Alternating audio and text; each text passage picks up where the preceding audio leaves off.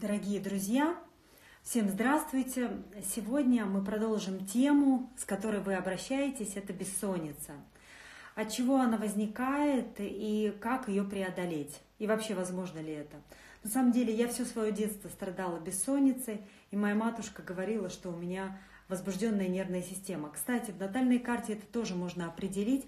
Обычно люди с а, ретроградным Меркурием, в период ретроградного Меркурия, испытывают, э, я бы сказала, своего рода такое активное, активное мыслепостроение, что действительно не могут спать, а либо сильное эмоциональное перевозбуждение. Э, приходится в этот период э, очень много думать. А Меркурий это вообще планета Э, которая шустро думает и легко возбудимая. Вообще, ее называют планета псих. Соответственно, как умиротворять эту планету и что делать э, для того, чтобы нормализовался сон, у меня на это есть э, множество лайфхаков, и все они на самом деле представлены в моем авторском курсе под названием «Умный детокс». А, и сегодня я бы хотела некоторыми упражнениями для вас поделиться. Чем мне удалось усмирить э, свою голову, это правильным питанием, системой тренировок, дыханием и самомассажем э, живота. Вот я как раз делаю такие соляные мечи, экоболы под названием, э, водрузив на которую брюшную полость, вы сразу почувствуете умиротворение, потому что кровь от головы прильнет к брюшной полости, омывая внутренние органы, будет их успокаивать и гармонизировать.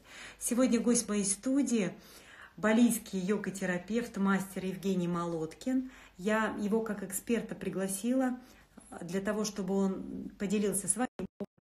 И далее, после того, как он выступит, я вам дам уникальное упражнение на самомассаж брюшной висцеры, на самомассаж внутренних органов, который способствует умиротворению.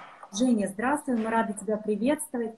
И сегодня э, тема злободневная – это бессонница. Как, ты когда-нибудь сам страдал бессонницей? И есть ли у тебя на это,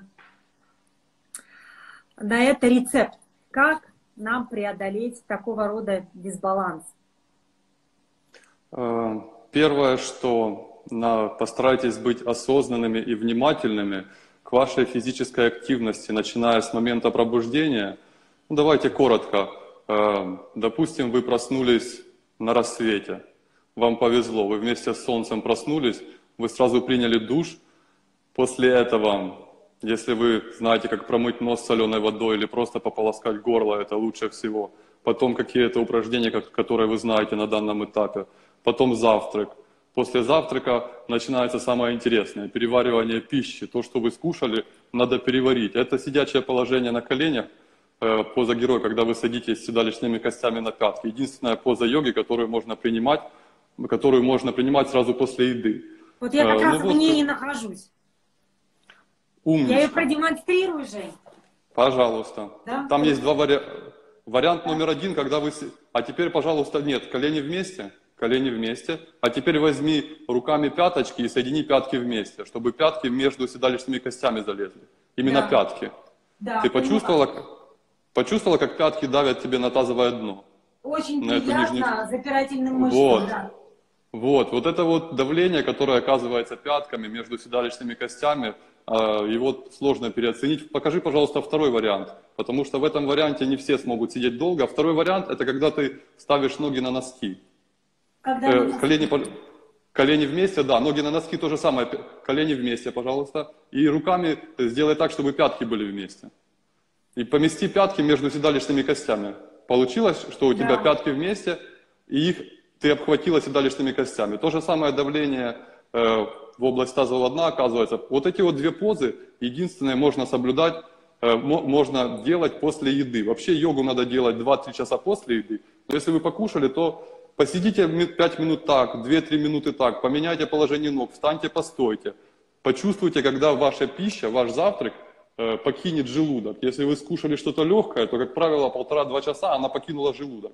Вот, все это время с прямой спиной. Ну и потом делайте все, что вам необходимо делать, э, все, что вы придумали себе делать в течение дня. Пожалуйста, держите спину ровной, постарайтесь не спать в течение дня. Если вы, у вас получится не спать в течение дня, э, кушайте э, поменьше, э, дождитесь до ужина. Если вы перед ужином сделаете какую-то практику, как, как, какую вы умеете, или, или со своим учителем, отлично. Потом поужинали, и, как ты вчера говорила, уже примерно с 9 до 11 готовьтесь отойти ко сну. Никакого телевизора, можно почитать чуть-чуть. Ну, я бы не советовал. Я бы советовал, если вы дотерпите, в обед не спать. Если вы с рассвета до заката и до 9 часов, вы уже будете готовы к тому, чтобы отойти э, ко сну. Поэтому ложитесь в позу трупа, можно колени подсогнуть для новичков, чтобы поясница полностью прилипла к полу. Я покажу, и начинайте, да, и начинайте потихоньку готовиться к, ко сну, потому что сон, что касается бессонницы, не буду углубляться. Мы, мы сейчас будем говорить, что надо делать, чтобы вы забыли, что такое бессонница, и вообще э, Потому что причин много, а вот э, то, о чем вы, мы сейчас сказали, единственное, на что обращу ваше внимание, это то, что э, когда вы готовитесь от, от, отойти ко сну, вы должны понимать, что когда вы спите, вы находитесь в бессознательном положении. Чем дольше вы спите, тем быстрее вы умрете, чтобы не углубляться. Почему? Потому что сон – это инертность. Чем меньше вы спите, тем э, бодрее. Но если вы только, если только вы э, стали на путь осознанности, если вы еще в начале пути, поэтому не насилуйте себя, э, но тем не менее постарайтесь э, исключить обеденный сон, э, и тогда у вас не будет бессонницы. Конечно же, ложиться спать нужно голодным, поэтому если у вас ужин был в 7 примерно часов, то 2 часа после ужина можно пройтись, можно принять те позы, которые мы вам говорили. В этих позах можно смотреть, можно упереться спиной к стенке. Главное, старайтесь в течение дня сохранять а что значит позвоночник упереться, ровный. Женя, упереться стеной к стенке, что имеется в виду?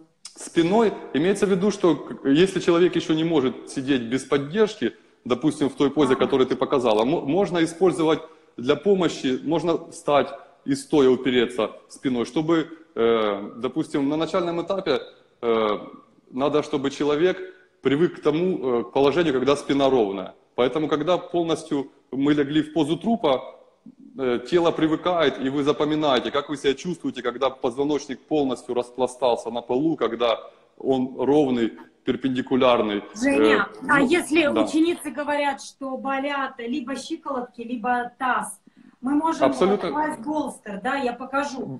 То есть... Или, полоте... да, или полотенечко под коленочки. Ну, это слишком высоко э, э с, твои, с твоим уровнем гибкости, конечно, Э, люди, у которых э, чуть-чуть больше там, э, плоти в мышцах ног, тем может подкладывать поначалу, да. Вот это вот поза трупа для новичков, да. Ладони вверх, и надо нижнюю челюсть отпустить. И в этом положении попытайтесь, еще такая простая техника, надо дать себе понять, что, что вы это не ваше тело, и вы это не ваши мысли, потому что многим мешает заснуть этот непрекращающийся, непрекращающийся поток мыслей. Люди, люди там думают о прошлом, о будущем, они не находятся в моменте.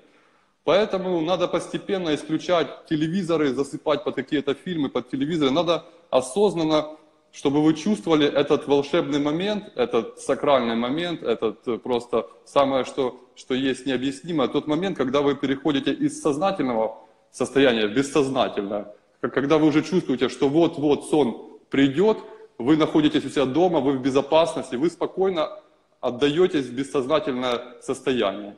Ну, конечно, ну вот это так вкратце. Это вкратце, конечно, все индивидуально. Ну, а вот если прерывистый вот сон, э, говорят ученицы, у меня прерывистый сон, и каждый час я просыпаюсь, и для того, чтобы снова заснуть и успокоить нервную систему, она говорит, что начинает есть, открывает холодильник и играет в саранчу.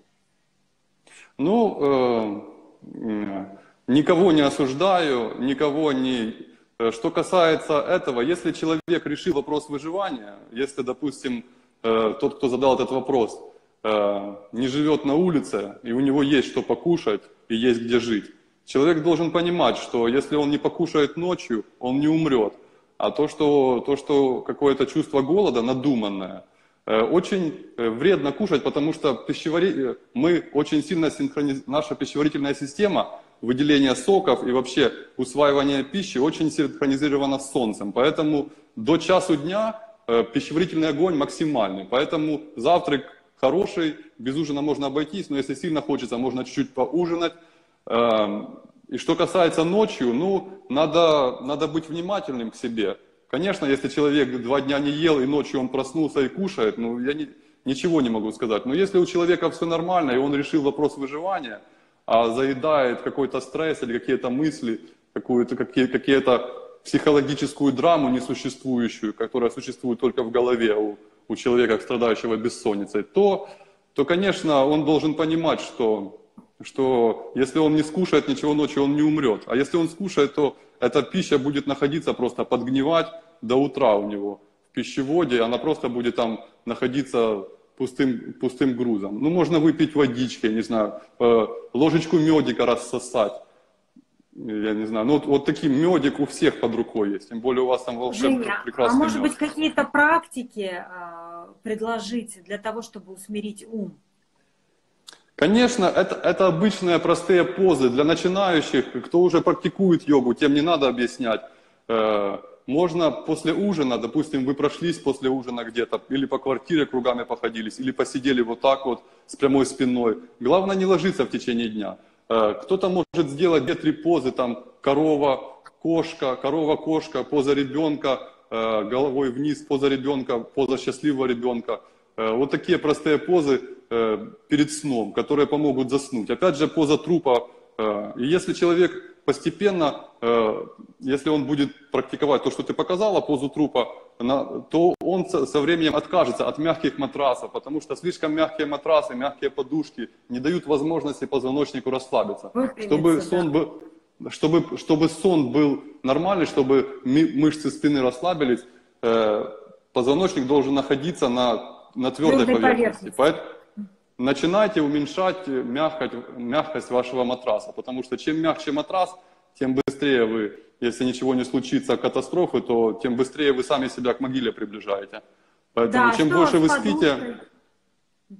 Подушка, по себе скажу, что э, я спал на полу, использовал подушку, то иногда у меня шея затекала в каких-то положениях. Сейчас я сплю на полу без использования подушки, без какой-либо. Все отлично. Поэтому э, можете скручивать какую- какую-то плотную, плотную ткань или простыню ложить, чтобы она твердая была в начале. Потом она вам не надо будет, нужна вообще. Поэтому, потому что когда позвоночник на ровной поверхности, и вы в одной позе, вообще классический сон идеальный. В том плане, что вы заснули в одной позе на левом боку, и в этой же позе проснулись. Спустя 4-5 часов, 3 часа, кто сколько спит, кто-то спит 2 часа, кто вообще хорошо собой владеет, э, соблюдает режим и Эм, диету, тому достаточно двух с половиной часов.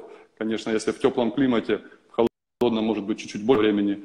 Эм, что касается, вот это вот очень важно, э, постепенно отказываться от мягких матрасов, переходить на более твердое, никаких пружин, э, лучше несколько одеял положить на э, на какой-то теплый пол. Главное, чтобы не было сквозняков, внимания, никаких сквозняков, никаких кондиционеров – Пускай лучше, если слишком тепло, можно вспотеть чуть-чуть или принять душ. Опять перед сном обязательно душ.